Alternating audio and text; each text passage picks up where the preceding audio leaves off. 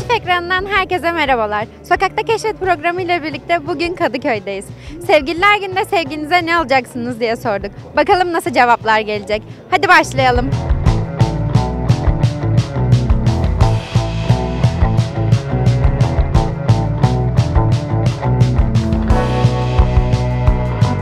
Sevgililer gününde sevgilinize ne alacaksınız?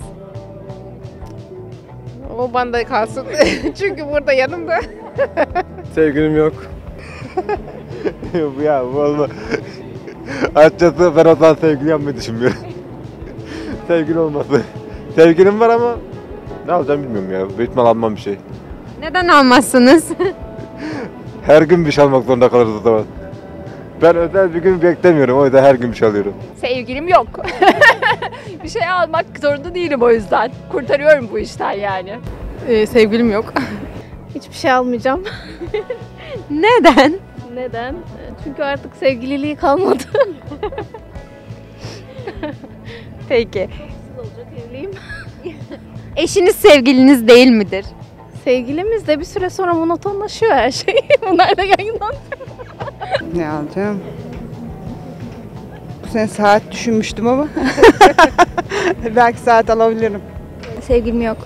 Yani bir sevgilim yok esasında.